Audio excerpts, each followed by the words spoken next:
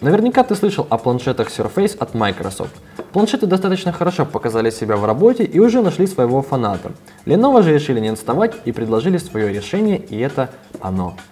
Lenovo MX700.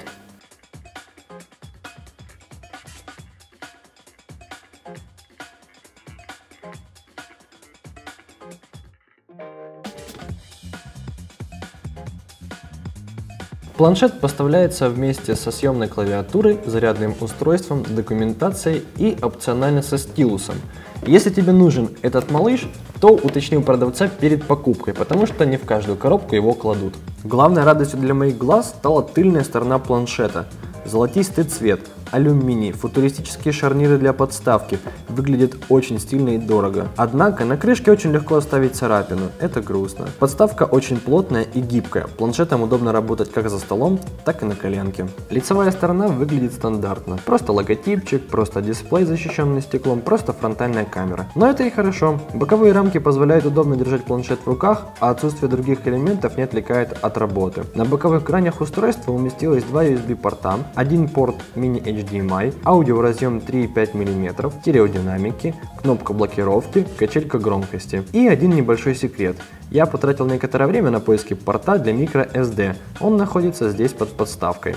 Съемная клавиатура. Стандартная клавиатура для Lenovo. Если ты раньше работал с такими клавиатурами, не будет слишком долгого периода адаптации. На ней удобно печатать вслепую, что ускоряет работу с девайсом. А вот тачпэд здесь и вправду унылый. Работать с ним не так просто и удобно, как хотелось бы. Надеюсь, что в следующих моделях компания больше поработает над созданием приятного тачпэда. Клавиатура с одной стороны состоит из прорезиненного пластика, с другой покрыта кожезаменителем. Немного марки пластик все же не вызывает дискомфорта при работе с ним. Магнит работает просто великолепно. Это правда какая-то магия. Мгновенное подключение, мгновенный переход из режима планшета в режим ноутбука.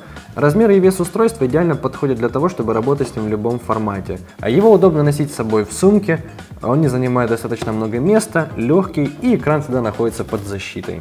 В нашей комплектации есть Stylus Active Pen – Повторю, что его наличие нужно узнавать перед покупкой. Ручка распознает 256 нажатий, есть две кнопки. Есть миллисекундная задержка при использовании. Я не рисую, поэтому не могу сказать, насколько удобно его использовать дизайнером. Хотя в руке лежит как обычная ручка, привыкать не надо, просто бери и рисуй.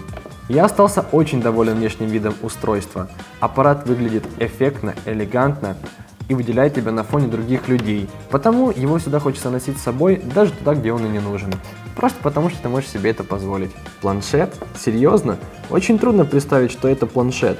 Процессор Intel Core M5, SSD накопитель 256 гигабайт, оперативной памяти 4 гигабайта, 12-дюймовая IPS матрица, дисплей с разрешением 2160 на 1440 пикселей. Я бы назвал это не планшет со съемной клавиатурой, а ноутбук со съемным экраном. Процессор Intel Core M5 обладает тактовой частотой 1,1 ГГц, способен разогнаться до 2,7 ГГц. Процессор не сильно перенагревается, потому здесь нет кулера плюс SSD, что в целом делает устройство бесшумным, как ниндзя. А в черном цвете оно и вовсе похоже на шпионский гаджет Джеймса Бонда.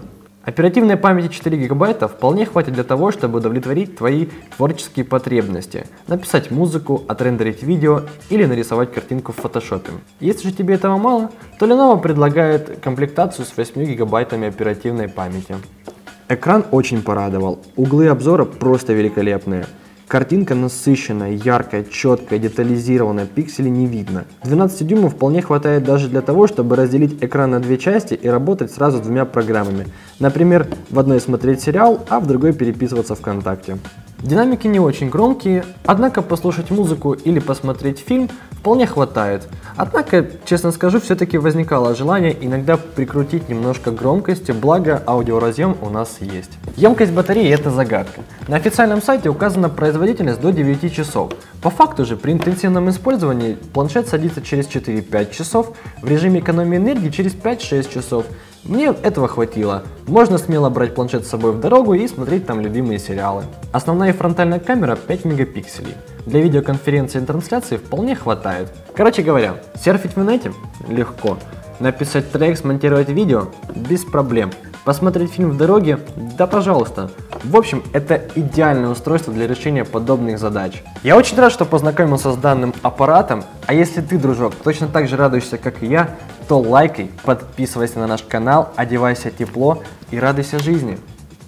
Я остался очень доволен внешним видом смартфона. Окей, давай, ты снимаешь?